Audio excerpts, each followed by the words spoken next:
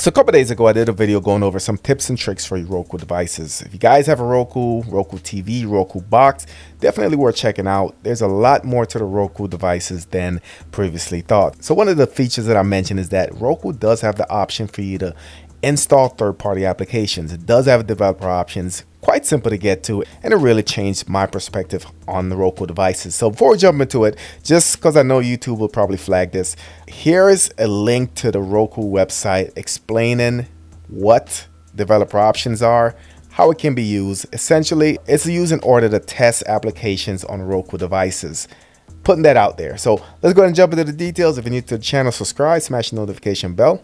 Let's go.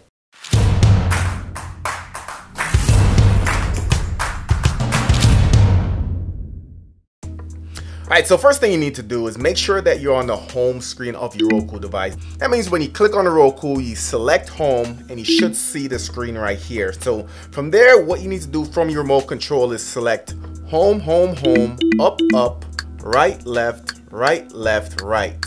And you should see this menu right here. So this menu is basically allowing developer options, guys. So it reads the development application installer allows developers to test their own application. To enable the installer, select enable installer and restart below. If you have enabled the installer, after your Roku player restarts, you can access the installer by pointing a web browser on the same subnet as URL. So basically saying that if you're on the same network, you put this IP address in your web browser, uh, put in your username, and you should be able to get into Roku where you can go ahead and install applications. So let's go ahead and set it up. So um, you can see my IP address right here is uh, 192.168.1.139. So I'll go ahead and I'll write that down. Of course, your IP address is going to be a little bit different. And the username is going to be Roku Dev.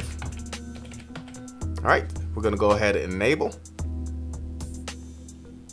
All right, security warning, installing applications from unknown sources may put your device at a data risk. By selecting continue agree, you're solely responsible for any damage to your device or loss of data that may result from you using these applications. Hit continue.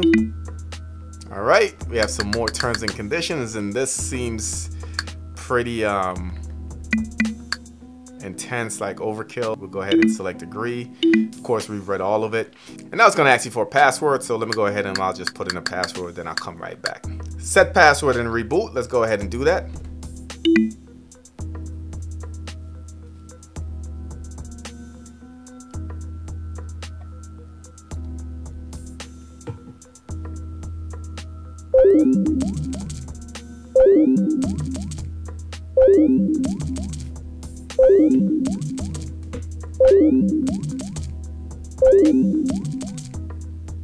So on the web browser, we're going to put in that IP address. All right, we'll give it a second. So we're going to put in that username and password, Roku Dev, put in my password.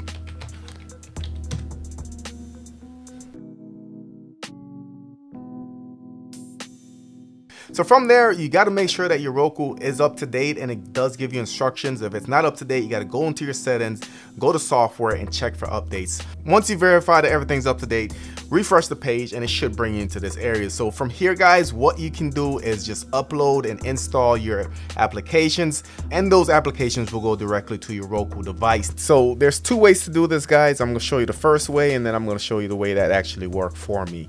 So everyone should have a Roku account once you set up a Roku device. So for instance, you can see I'm logged into my account, says welcome back Melvin, blah, blah, blah. You do have this account if you've set up a Roku device and Roku keep track of all your devices this way. So once you get signed in, you're gonna go to my account. Method one or the first method to do this is to create a channel via the code. Um, for me, like I said, it didn't really make a difference for me, but I'll show you this method anyway. So one way to do it is um, some people that log in, you will see an option under your manage account that says add channel with code. You'll go ahead and add that and then you can put in the name that I'm about to tell you. For other people, um, including myself, the option that I see is add beta app with code. So maybe there's some updates there that makes it show different for some people. But um, if you click on this, you should be able to put in a code for it to work. So for instance, so I'm just gonna put an IPTV smarters, just like that. All right, should be pretty straightforward. Click add app. It's to give you some mumbo jumbo, agree, just um, consenting that this is a non-certified channel. Roku requires all channels to abide by terms and conditions. So basically just saying install at your own risk. Click OK. There's the app. We're to go ahead and add it. So it's to tell you that this might take up to 24 hours. Typically, it will show up within 24 hours to access the new app. Refresh your apps from your home screen um, by visiting settings, system, software update. So let's go switch over to Roku and I'll show you how to do that. Again, if you don't see it pop up here, all you need to do is go to your settings. Gonna go to your system. And we're gonna go on software update. If you click on that and check now, um, if this method works, you should see an option that says IP Smarters is updated. So in this case, you can see that it's up to date. So that's one method to do it. Um, the other method is to go over to Roku and update it and install it manually. So the other method is to install it manually via zip file and um, I'll leave a link to where you can go ahead and download it directly to your computer then upload it to your um, Roku device. So need this file right here. You're gonna go ahead and download it. And for me, mine is located in my download, so I'll go ahead and, and navigate to that area. But you wanna get back to this on your Roku device. Keep in mind that each individual Roku device, you will have to upload it for the application to show. So for instance, this is just going to be installed on this Roku stick right here, the one with the 139 IP address. If I had multiple devices, I will need to do this on other devices. So keep that in mind, at least in my case where it seems like the zip file option is the only option that worked. All right, so we're gonna go ahead and upload. I'm gonna go into my downloads, select the IP Smarters app for Roku. It's a zip file, click OK. All right, so you see it right here, guys. Now all you need to do is install with zip. All right, so you can see it saying please wait, but now if you click over to your Roku device, starts happening immediately, guys. Installed instantaneously, and you can see it's ready for your login. So let me go back home. All right, go home again. All right, so now if I go down to my applications, you can see I have the app right here. I can open it. I can log in with my credentials. Worked instantaneously. Install right away and it worked instantaneously. So again, this is just the tip of the iceberg. I would like to see more apps become available for Roku's. Um, for instance, a browser application is something that we all been waiting for.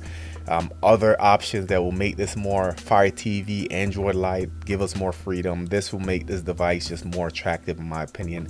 In the comments, let me know if this is something you're to try out. Also, let me know if you find any new apps that we can go ahead and try out. Maybe I'll go ahead and do an updated video. Of course, if you're new to the channel, subscribe, smash the notification bell. Thank you for watching, and I'll catch you on the next one. So let me know in the comment section if there's something you plan on doing. Let me know if this changes your mind about Roku devices in general. Uh, I know for this particular reason, Roku doesn't get a lot of love in the streaming community, but since there's an option to essentially sideload applications, will you give Roku another look? Of course, if you're new to the channel, hit that subscribe button, smash the notification bell. Thank you for watching, and I'll catch you on the next one.